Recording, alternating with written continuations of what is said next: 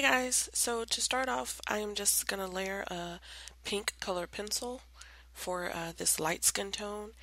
And then for the second skin tone, it's going to be a darker skin tone. I'm also going to layer a pink. Uh, sometimes you need an undertone so that your coloring won't be so flat. Uh, these are Prang color pencils, by the way. Uh, the second color is a very natural color. Um, and I'm using a blending stump and a and odorless mineral uh, paint thinner uh, to blend that out with. And this is a dark, uh, it just says brown uh, colored pencil. Um, be sure when you're coloring with color pencils that you do so with very light hand, uh, just barely rubbing the pencil across the paper uh, because if you push too hard, you won't be able to layer any other colors on top and you won't be able to blend them. So uh, just keep really nice, um, even, uh, barely just, you know, rubbing the color pencil on the paper. And so I'm just going to blend that out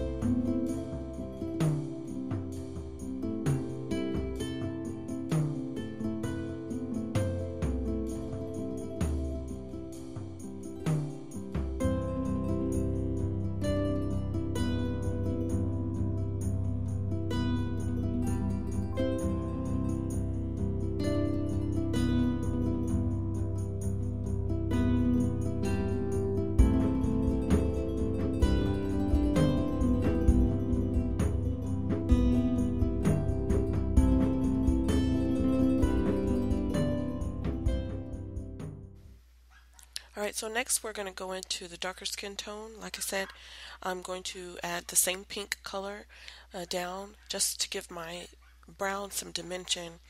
I think a lot of times when we color dark brown skin tones, uh, we tend to just do brown and we don't think uh, that there's uh, sometimes you know you need a second color uh, to blend uh, that out like a yellow or a pink. Uh, sometimes even a maroon color would blend really nicely with brown uh, just to give some depth. Um, I added here pink and then a warm gray uh, for shading because the brown that I'm using has is a very red so I wanted to tone down the red in it. And so adding gray just gives me the shadowing uh, without having to, I guess, uh, find a brown color that's, you know, that's got a little bit of gray in it. I'm working with uh, 36 colors here, so bear with me. And you'll see me just go back and forth between those three colors.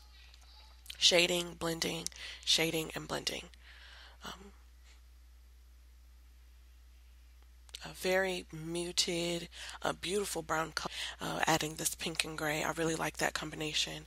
And so I'm probably going to try that again because uh, it was a lot of fun to see um, how it all looks after uh, it's blended out.